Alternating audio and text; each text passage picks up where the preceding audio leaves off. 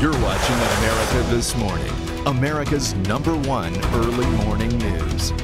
Good Friday morning, the chaotic situation in Iraq shows no signs of letting up as militants claim even more territory. And now President Obama is weighing his options as the insurgents creep closer to Baghdad. So will U.S. strikes be next? ABC's Kristin Fisher live in Washington with reaction from the White House. Good morning, Kristin. Good morning. Well, President Obama says the U.S. military is going to do something. But after nearly nine years of war and sacrifice in Iraq, one option that's not on the table is putting more U.S. troops back on the ground.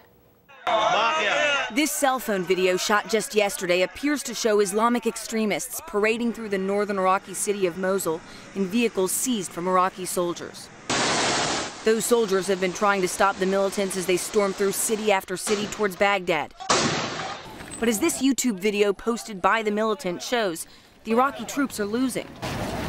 Thousands of Iraqi soldiers are seen here surrendering to the militants with links to Al Qaeda. Iraq's government is now begging the U.S. to step in. Yesterday, a cautious President Obama said help is on the way. My team is working uh, around the clock to identify how we can uh, provide uh, the most effective assistance to them. The White House is now weighing a range of short term military options, including airstrikes. But putting American troops back on the ground isn't one of them. Instead, the president is calling on the international community to help.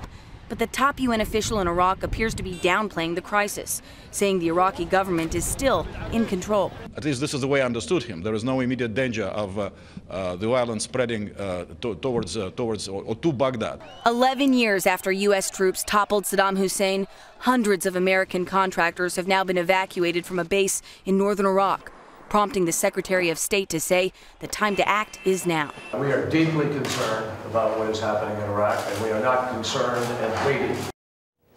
Another country not waiting Iran, Iraq's historical arch nemesis. Tehran has already dispatched more than 100 elite fighters to help the Iraqi government. John, Reena.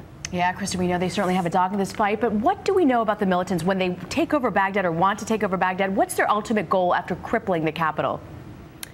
Well, these militants are from ISIS, that's short for the Islamic State of Iraq and Syria. And their goal is essentially to make their name a reality. They want to create a new Islamic State in that region, and they're willing to do it at almost all costs. Back to you. All right, Kristin Fisher live in Washington. Thank you.